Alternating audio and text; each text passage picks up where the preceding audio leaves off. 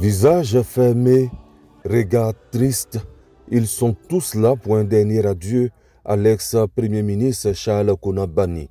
Pour la messe de qui se tient à la paroisse Saint-Jean de Morofé à Yamoussoukro, la famille du défunt n'est pas seule.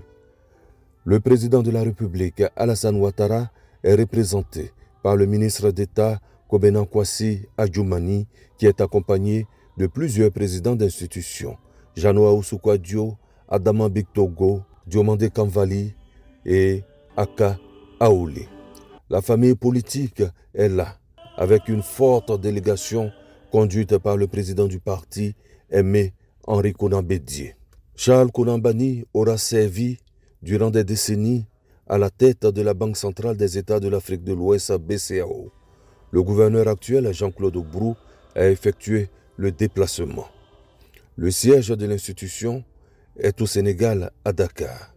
Le président sénégalais Macky Sall a dépêché un émissaire pour exprimer toute la douleur de son pays de voir partir un collaborateur aussi brillant.